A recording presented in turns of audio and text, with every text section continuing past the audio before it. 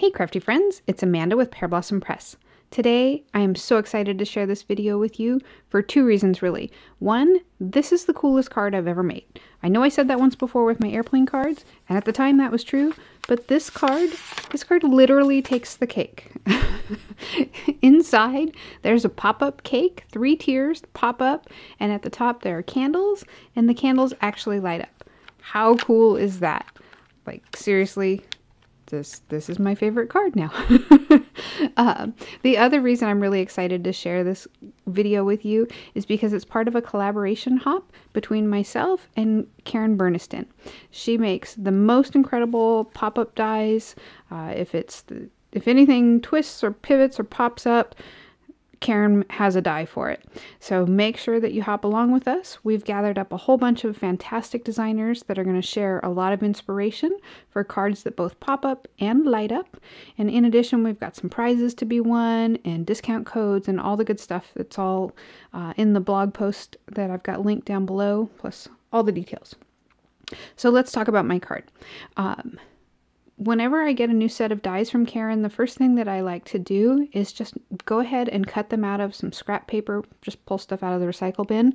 And that just helps me assemble it and wrap my head around how all the pieces are going to go, plus orientation. You know, if I want to cut it from pattern paper, I want to know which is the top. Once I've got that done, then I can go ahead and cut out my good paper. And for this card, I've got a card base, some pattern paper that's going to decorate the front, and a strip of vellum, and then also some more pattern paper on the inside. And I am leaving a gap between my two pieces of striped paper when I close that up. That'll just help the card fold flatter. We're going to use my EZ-Lights to light up the candles. And then I've got a whole slew of dies that I'm using from Karen Burniston. Now the main ones are the cake pop-up die set. So I went ahead and cut out all of my cake pieces. Notice I went from light to dark cardstock. And then I cut out all of my scallops from some glitter cardstock. I also went ahead and cut out some candles. The candles are from white, uh, white cardstock, and then I have three more out of vellum. And I decided that I wanted icing to go not just the scallops on the side, but also on the top part of my cake. So I came back with some more of that uh, glitter cardstock and I just partially die cut some pieces so that they will fit onto the tops of the cake and butt up right against those scallop pieces. I thought that would be cute and a fun little twist on this cake.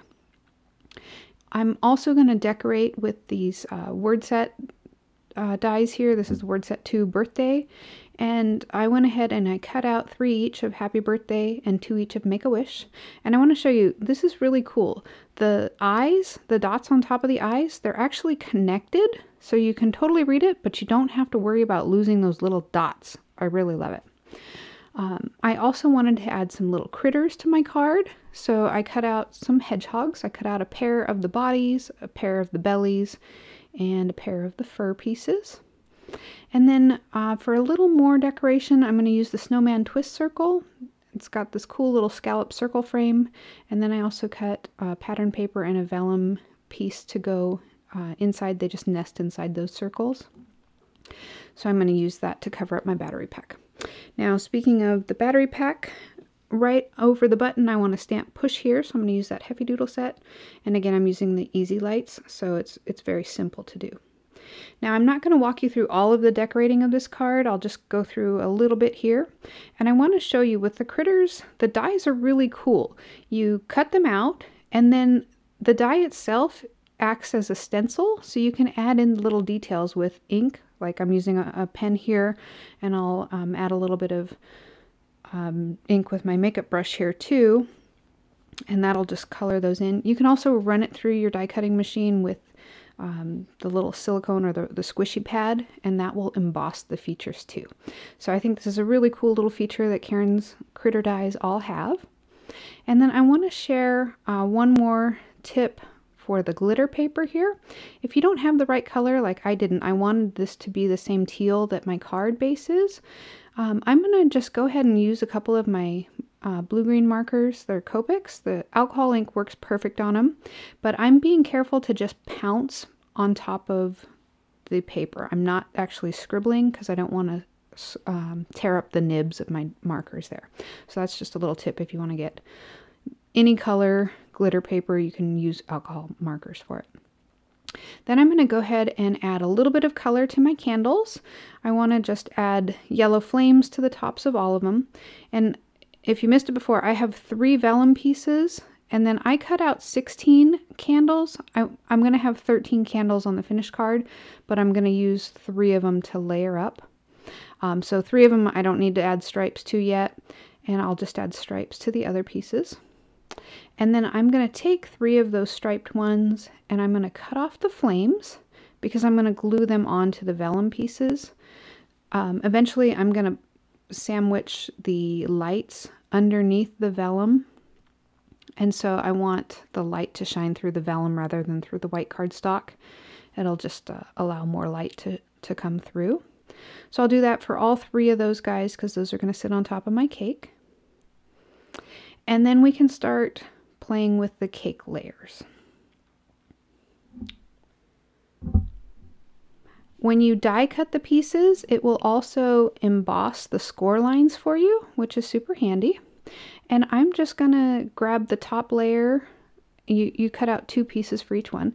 So for the top layer, I've got two of these light blue pieces and every fold is gonna fold away from you except the little arch at the top. That little semicircle is to pop up, but every other fold on all three layers is going to push down. It'll be a mountain fold, so you, you push it away from you. And you'll see as you're playing with it, it, it comes together very easily. It might look confusing at first, but as you're actually, you know, touching it, it, it comes together fast. And while I'm folding these, I thought it would be a good time to glue on my icing pieces. It's just easier while you can hold it flat. But I do want to make sure that I I bend those those folds so that I can make sure the icing folds or sits where I want it to. And using the wet glue, I'm using PVA glue in a fine line bottle. Using that wet glue allows me to slide the pieces around a little bit before it sets. So I'm just going to glue on those icing strips and the, the pieces for the top of the cake. And I'm repeating the process for the second side. And I just want to kind of snug up those pieces next to each other. And again, you know, test those folds, make sure that the icing folds nicely. And I'll just pinch these two pieces together here and you can kind of get an idea how the top of the cake is going to come together. See that? The little arch, those two pieces are the only two that stick up. And we'll eventually glue the candles onto that. Now for the second tier, I'm going to just repeat the process. This time there is no arch, so every single fold is going to go down. You just kind of fold them all underneath. And then we'll glue on our icing pieces here again. And I'm not gluing this together yet because when we do start gluing the layers together, we're going to sandwich the candle um, the lights in between. So I just want to get the icing on here and, and really work all my folds first. So that's all I'm doing. And it actually, it takes a few minutes because there's two pieces for each layer, but it's very simple. On a scale of 1 to 10, I would say that this card is probably probably a five, maybe even a four, especially if you do the little test run first out of scrap paper, because once you do it the first time, it, it just becomes very simple. So I'll repeat the process here with the second half of my middle tier, and then I'm going to pinch them together for you again so you can just see what I'm doing here, how that piece will come together. Now for the, the bottom layer, there's an extra little notch in the center and it actually has two fold pieces or, or two fold lines so it, it's scored in two spots and that middle piece will come underneath and provide a, a support for the cake itself when it's flat here's the second fold there so you see that kind of just gives a little extra support to that piece so I'm gonna go ahead and glue my frosting pieces on here again, just doing the same thing. And then I'll work those folds. And there are notches. Notice that the there's notches on the bottom and the center uh, layers. That's so that the pieces above can slip in there. So when you cut them out of the glitter paper, you're going to want to make sure that those notches line up exactly with the, um, the bottom piece. And we're just going to repeat the process for the second half of the bottom tier here. Just every single fold is going to go away from you, push down, and then we'll glue on the icing again.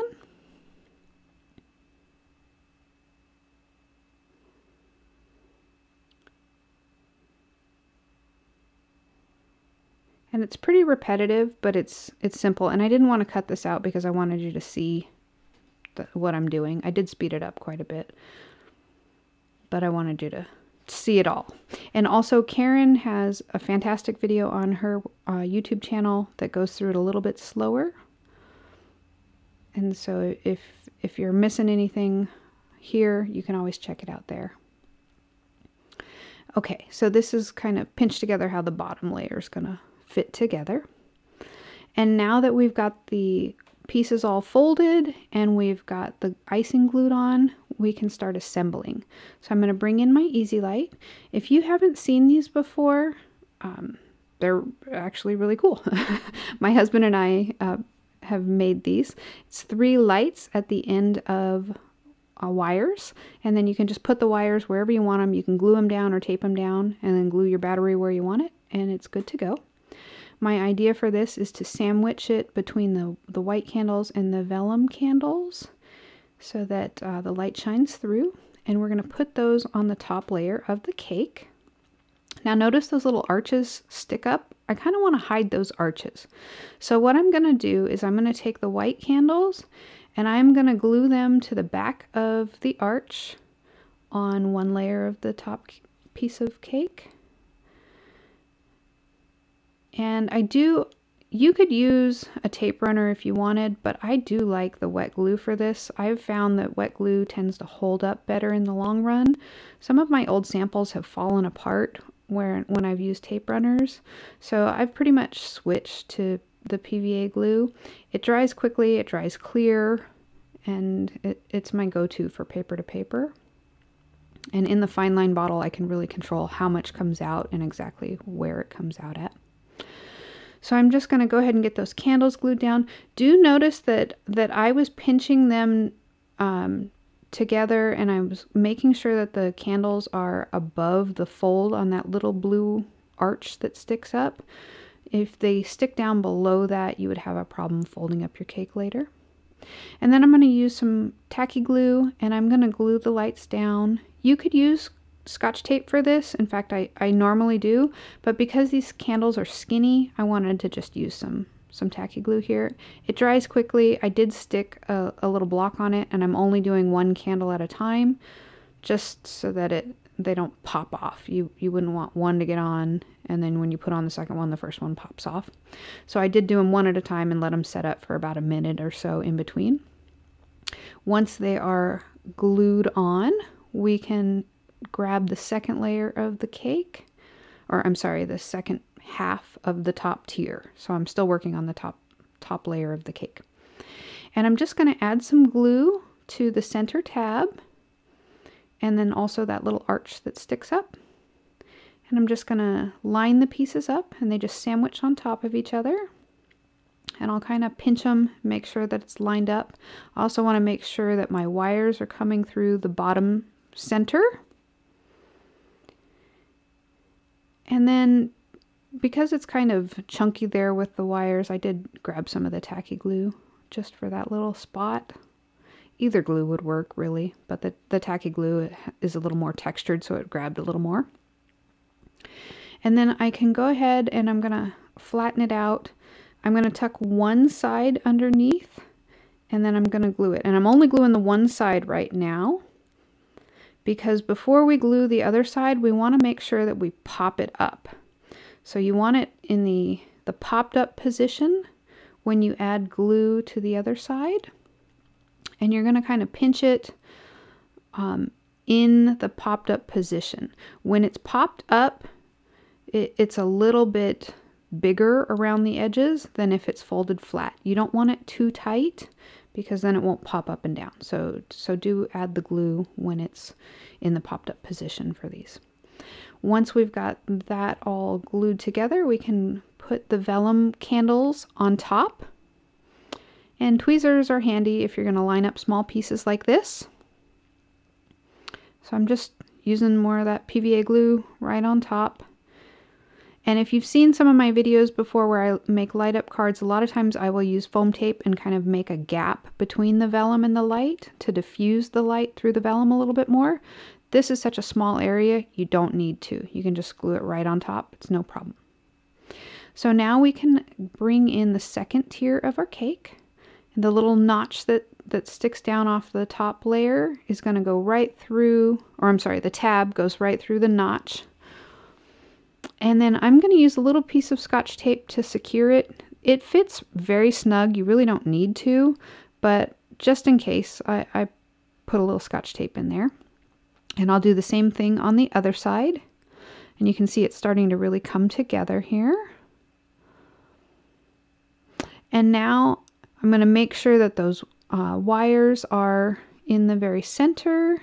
Oh, sorry, I need to add the scotch tape to the other side. getting ahead of myself here. Okay, so now I'll kind of pop it back up here, get a feel for it. And then I'm going to make sure that those wires are in the center and I'm going to add glue all around, along the tab on the insides and I am making sure to get glue all the way to the top of that tab. You want to make sure that those two pieces come together as completely as possible, especially at the top, because that gives you a nice strong base and it allows the top layer to to really stand up tall. So make sure you get glue all the way across the center. And then I opened it up and then I added a little bit of glue to the one side and then I can close it up and pinch it. You do want to make sure that you're overlapping it when it's in the popped up position, just like this.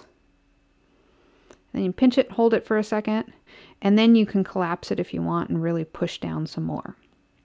So now we've got two layers of cake. And I realized that I wanted uh, color on the back of those white candles. So I just colored them in real quick with my markers. And now we can bring in the third tier. So it's going to come together pretty much the same way. The tab is going to go through the notch. I'm going to use a little more scotch tape to secure them. And it really is a, a, tight fit. You you can skip the scotch tape step with most of your cardstock as long as it's fairly thick, but I didn't want it to pull out just in case. This card is actually my daughter's 13th birthday card. That's why I have so many candles. I want 13 candles on the finished card. Only three of them are going to light up, but um, since I was going to give it to her and I knew she'd probably play with it a lot, which she did. I gave it to her for her birthday the other day and she loved it. Um, but since I knew she'd probably play with it a lot, I wanted to really reinforce it here. And so once I have the tape in place, I'm going to glue the two outer flaps that are inside. That sounds weird, right? Outer flaps on the inside. They're inside of the cake on the outside edges. But those center pieces, I'm not gluing them yet. And again, you want to make sure that you get glue all the way up to the top, up to the white icing pieces there, so that you get a nice strong base for it to stand on. Then I'm going to go ahead and glue the sides together. And again, I'm overlapping them in the popped up position. I don't want to pull too tight. I want it to, to be able to go up and down easily. So I'm kind of testing it as I go and I can, you know, squeeze it some more, make sure the glue's dry. And then I'll do the same thing for the other side, pop it back up. And then add the glue and overlap those pieces there.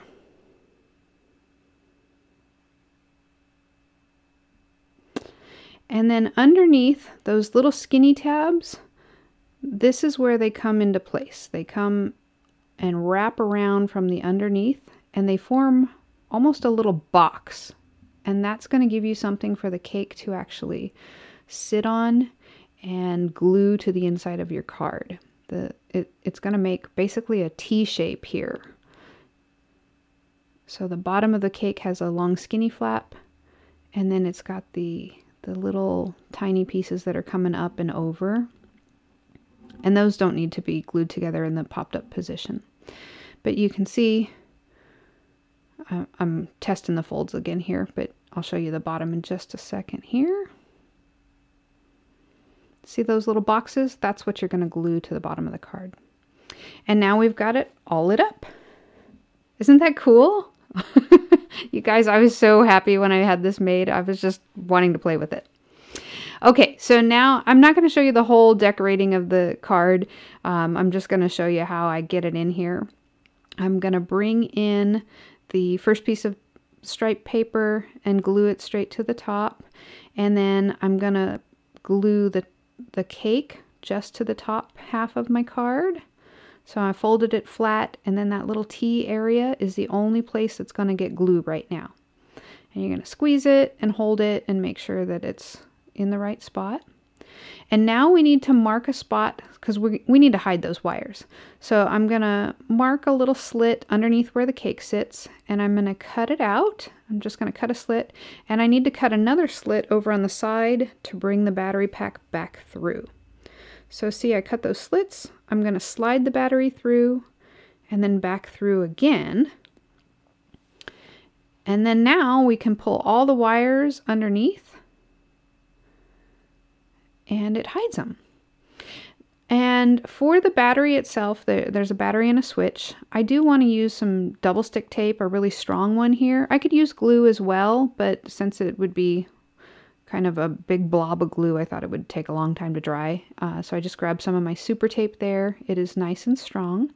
And I glued the battery down. And then I'm going to fold the paper up on top of the cake. And I'm just to grab those extra wires and I kind of curled them up. This is just, you don't have to do this. This is just to make it look cleaner underneath. Not that anybody will ever see it, but yeah, I, I like it. um, and then now I'm just to add some glue around the edge of the pattern paper here. And then we can close up the card and that will get everything all lined up where it needs to be. See that? And that, that little gap between the, the two pieces of striped paper really does help this card come fold flatter. Okay, so now the last little thing to do is attach the other half of the cake. So there's there's that little T piece and I'm just adding glue to that. And then I can go ahead and kind of close up this card and make sure that it grabs it in the right spot. And I squeezed it for a minute. I didn't want to make you watch all of that, but I, I squeezed it to make sure it was good and stuck down. And then that's that is the hard part. The only thing left to do is decorating. I did go ahead and cover up that the button with um, the push here stamp and that circle is actually uh, popped up with a double layer of foam tape. So you can see I got all the rest of my candles and my hedgehogs on there. And I just love how this card turned out. it's so cool. If I went too fast and you missed any of it, just ask me questions in the comments down below. I'd be happy to, to tell you what I did, but I was trying not to make this video crazy long because we do have some fantastic other videos in the hop. You guys, we have a ton of cool inspiration. And if you're ready to see more, I've got links below to the next stop in the hop. I've also got a link to my blog where you can find the whole list of everybody hopping along with us and also the, the products that I used. I've also got more information on my EZ-Lights. They are super simple to use. Um, don't forget to hop along with us because if you leave comments along the way, you'll be entered for your chance to win a couple cool prizes. We've also got a 15% discount code, and it's one code good for both shops. It's down below, but do hurry because it's a limited time. And if you like today's video, please go ahead and subscribe and ring that bell. And I'm going to drop a playlist here with other videos in the hop as well as some other interactive cards. Thanks for watching!